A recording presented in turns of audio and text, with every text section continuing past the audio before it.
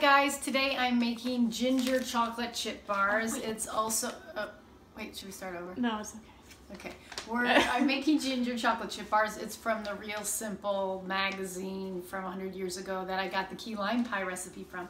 And this one's really good too. So first what I did was I buttered or Criscoed a 8 by 12. I think that's the size. Ooh. Like the regular pan that you bake stuff in. And then I have, let's see, I have one and one fourth cups light brown sugar and one and fourth cups just regular sugar. What'd you do if I drop this? Okay, let's not. Shh. And then I have Sorry. two sticks of butter I'm putting in. Oh, Oh. wait, I got to get a thingy for it. Hold on. All right, so then I'm putting the butter in. Here we go.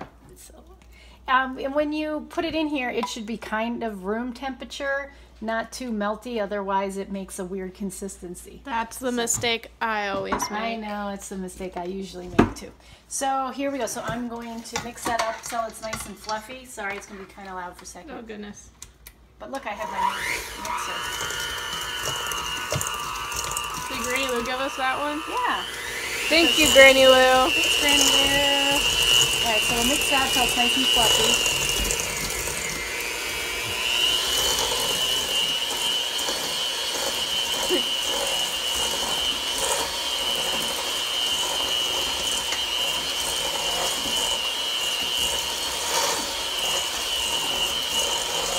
You can fast forward this part when you watch the video. I'm sorry.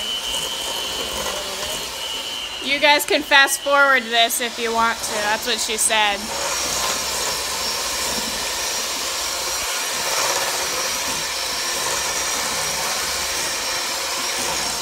Do you guys want to see my birthday card?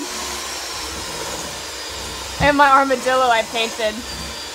Pretty cool, huh? Yeah. Oh, it's good. Here, come look at it. Look. Ready? That's chocolate.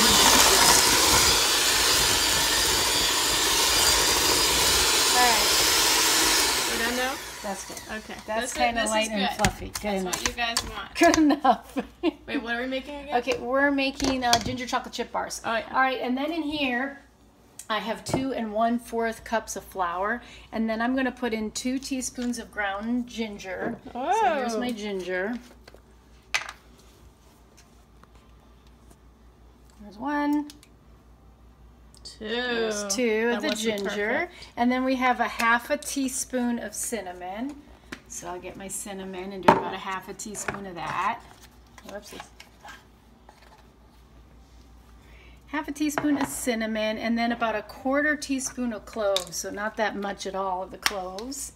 Let me see if I can find a smaller thingy in here. Our messy drawer. So it's a fourth of a teaspoon. So I'll Oh, take a. This is a half of a teaspoon, so it's even half of that. So it's about a fourth. Mm. There we go. So there, there are the cloves. And then we want one teaspoon of baking soda. So we'll put that in.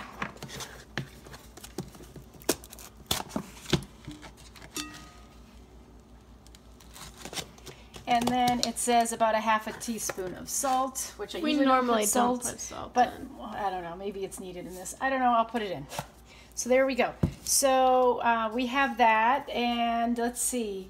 I did the butter and the sh- uh, sugars in here, but I'm going to also now add the vanilla and the eggs into the butter mixture. So it's about a teaspoon of Can I crack the eggs? Okay. Yes. All right, so there's a teaspoon of that, and then we're going to have four large eggs. All right, let me My get the favorite eggs. part. Okay.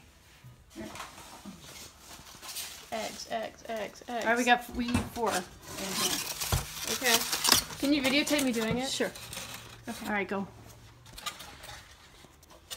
Oh, well, let's not crack it on there. Oh, well, that's okay. We're good. Um, Oh. you know, what? I thought this out better in my head. All right, I'm doing the rest. No! no, no, one more time. One more time. One more time. All right, one more we time. need no, my hands more are so gross. We need three more. Okay. Has anybody taught you how to do eggs? No. It's painful. Ow! Oh no. My video is going haywire. It should be four eggs. I'm doing the other two. Beep beep. You might should probably go wash your hands.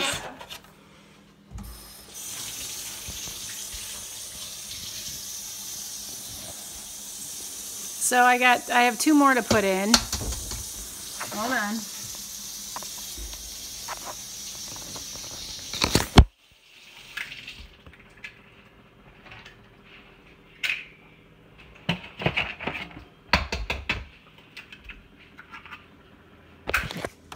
So we got the four eggs in there now. Woo! No thanks to Miss Maddie. Thanks to me. Okay, four eggs. There we go. I'm gonna mix that.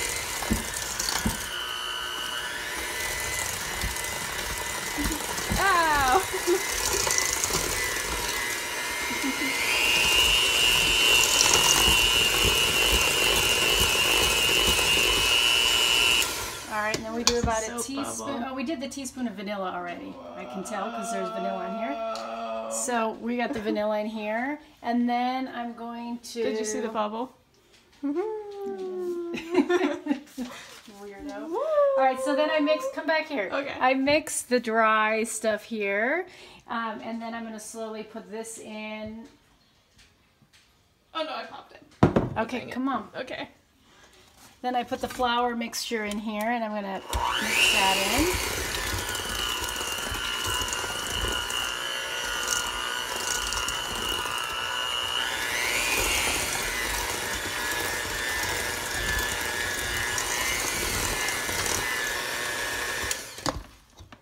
All right, rest of this in.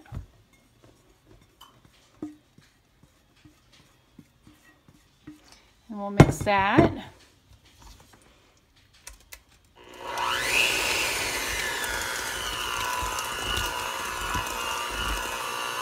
That's good.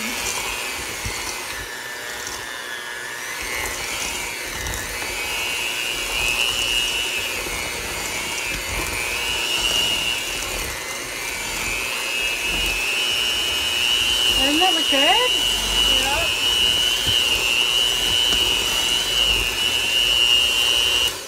All right, so we've got the butter, the flour, the ginger, the cinnamon cloves, baking soda, salt, sugar, sugar, eggs, and vanilla. And the last thing is the best thing to put in is are the chocolate chips. So we'll put those in. Yes. The best part. The whole thing? Sure, the whole thing. Whole thing. Yep, put the whole thing in 12 ounces. So we'll turn that on. Mix that in. I have a chocolate chip.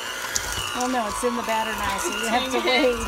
No! There's some chocolate chips in the cupboard. You can have some of those in a bit. So that looks ready to go. Is it yummy? I think Like so. Like the dough? I hope so. There we go. Guess we could put that on there for now. Okay. Whoopsies. All right, and then we're gonna put that in our Crisco pan. pan. Let's move this out of the way. Oh, and by the way, we had to preheat the oven to 350 degrees. I forgot to mention We that. never tell So them. So that's um, at at the right time. All right, so we're gonna put that in. Ooh. It's kind of um very thick. Look at that. But this is kind of a nice alternative to just regular chocolate chip cookies. And it's really yummy. And I'll have to take a picture and put it online on Facebook. um, when it's done. Well, I'll attach it to the video so you can see what the finished product looks like. Oh. But you're supposed to put it in for 40 to 50 minutes. And then when it's slightly brown on the top, you take it out and then you com- you completely cool it. And then you can cut it into about 32 bars. And so it'll feed a bunch of people for a nice dessert.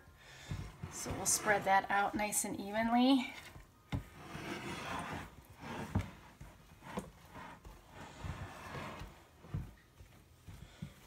I'm going to get another spoon to help us out here. Get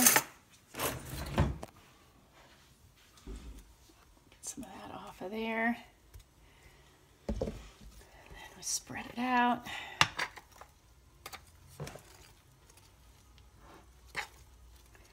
Looks good. And this will be good with like a side of vanilla ice cream, don't you think, Mad? Or mint chocolate chip. And you think mm-hmm. mint chocolate, mint chip would chocolate be good? I don't know, it's got cinnamon.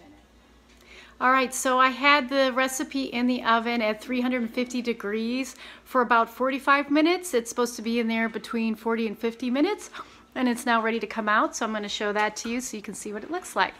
Here it is in the oven. And then I'll take it out and you can see how yummy it looks. And we'll let it cool. And like I said, we'll cut it into little squares and then serve it later for dessert tonight. So let me show you what it looks like. Here we go. So that's it for the video for today. I hope you enjoy the dessert and have a good night. Take care.